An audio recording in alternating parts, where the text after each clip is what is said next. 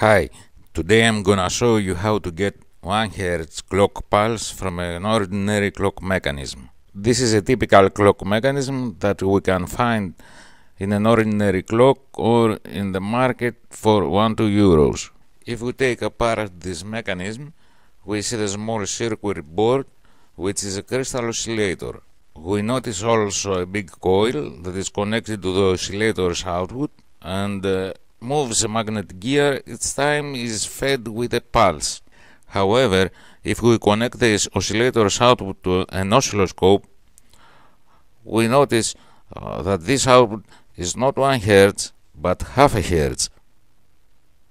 This means that every 2 seconds we have a positive pulse and a negative pulse.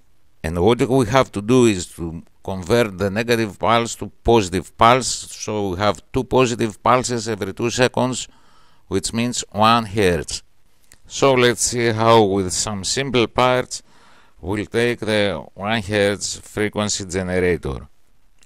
With the resistor and the capacitor we make an RC network which is called differentiator.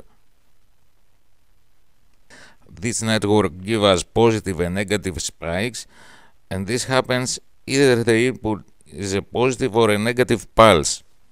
The only difference as we see at the simulation program is that the negative uh, pulse from the clock give us first the negative spike and then the, positive spike but this doesn't affect at all the frequency of uh, 1 hertz in, since the, the initial clock pulses of half a hertz are stable. Following with the positive spikes, we turn on an NPN transistor to get the 1 Hz frequency.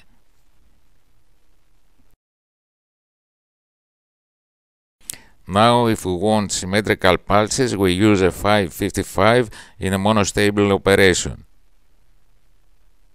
The resistor RD and the capacitor CD adjust the duty cycle of the pulses. At the end, this is the complete circuit on a breadboard with a green uh, LED blinking. At the oscilloscope, we watch that the uh, our 1 Hz frequency is uh, quite accurate. thanks for watching and uh, if my video helped you with your project, uh, then please click like or leave your comment. Thanks.